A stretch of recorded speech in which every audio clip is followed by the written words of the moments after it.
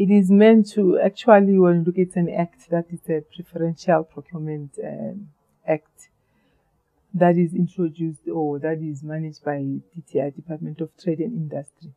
But then, as they effect it now in its, in its revised form, for me, it impacts a lot on how we are supposed to contribute towards the government agenda and objectives because it brings in the 80-20 or 90-10 uh, principle where it looks at the threshold.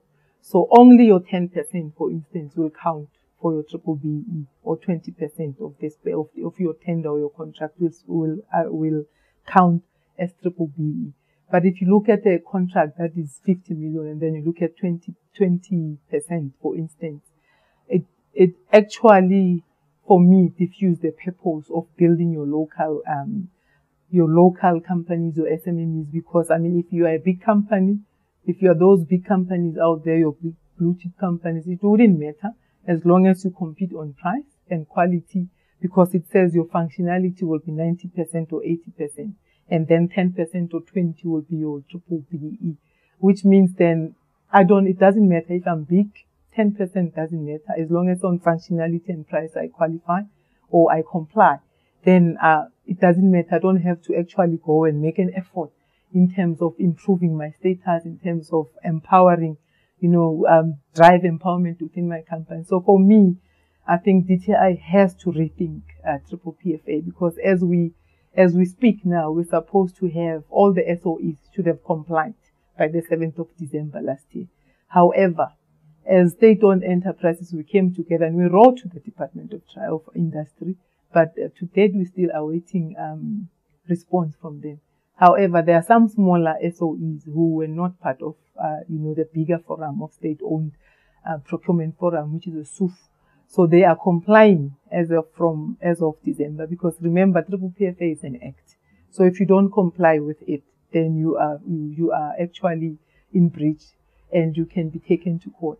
And these suppliers out there that are big, they know that.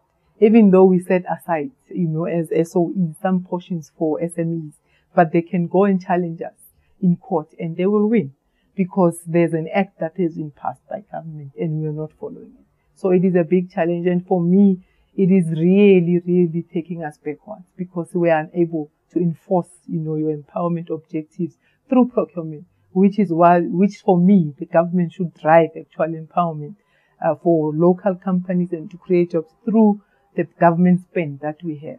So it is a big challenge. We are still awaiting. So I think it's at this stage is let's watch the space. But from ourselves, we are engaging Department of Trade and Industry and also for them to help us to drive the message to uh, Treasury. In its current form, I think yes.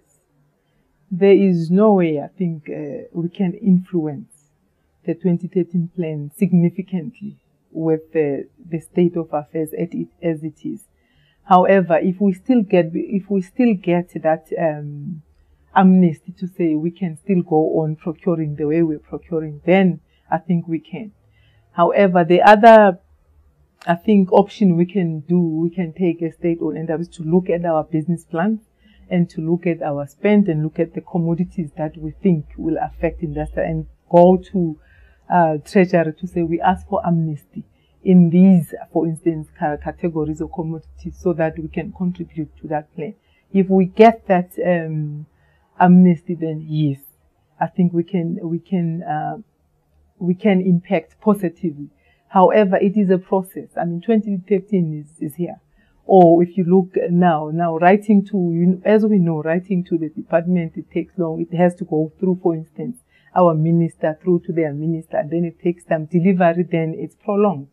And then we miss the boat in that instance. So for me, I think probably we need a critical mass to sit and debate this issue as soon as possible because I think we are losing benefits. We are losing leverage. We're losing opportunities to create um, benefits or opportunities for SMMEs or to impact positively on industrialization. Because if you look at 1020, which, which, who will be taking, who, which financiers will take a risk on a smaller companies or when you can't see the benefits that you will take, or even your entrepreneurs who can say yes, I see, I see there's a future there for a 10 or 20 percent in terms of the capital spend, the billions of the capital spend. If you look at your Eskoms, your Transnet, there's a, there's a, I mean, significant, huge capital spend. But if you look, if it's 13 billion and then there's 10% of that, Maybe yes for a short period, but is it sustainable? I think not. Audio Jungle.